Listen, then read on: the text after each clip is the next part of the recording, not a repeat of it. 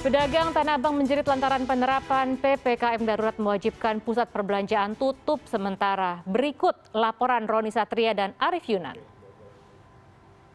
Sehari jelang PPKM darurat yang akan mulai berlaku 3 Juli 2021, Pasar Tanah Abang saat ini masih menunggu instruksi dari PD Pasar Jaya apakah akan melakukan penutupan. Nah, terkait dengan Pasar Tanah Abang ini yang uh, juga tidak semuanya menjual bahan-bahan seperti uh, sepatu, baju, dan lain sebagainya, tetapi juga ada kios-kios yang menjual bahan pokok, sehingga tentunya tidak dilakukan penutupan total. Namun, hal ini uh, terkait dengan PPKM darurat, para pedagang sudah mulai menjerit terkait dengan nasib mereka nantinya.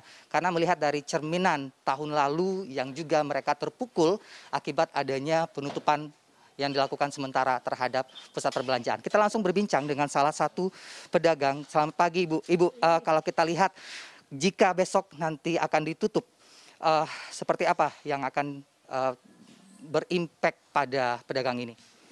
Nggak tahu lah mas, kita mah pasrah aja sih karyawan. Cuman kan kalau bisa nyampein inspirasi sih jangan sih. Soalnya kan kita buruan buru harian lepas. Kita kan nggak tahu. Kalau kita nutup lockdown kita mau makan apa di rumah gitu. Oke lah tahun kemarin kita di lockdown tapi kan ada jaminan. Kalau sekarang kan kita nggak ada. Amsyong sama sekali. Ya berharap sih sama pemerintah kalau blok A jangan nutup lah. Solusinya mungkin dengan membatasi jumlah ataupun uh, waktu operasional mungkin. Kalau umpama nutup apa buka setengah hari sih oke okay lah ya. Kita masih dapat separuh. Tapi jangan sampai di lockdown lah, kasihan kami loh buru-buru lepas begini.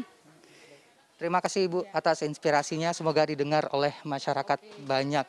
Ya, itu tadi salah satu uh, inspirasi ataupun aspirasi dari salah satu pedagang. Roni Satria, Arif Yunan, Jakarta.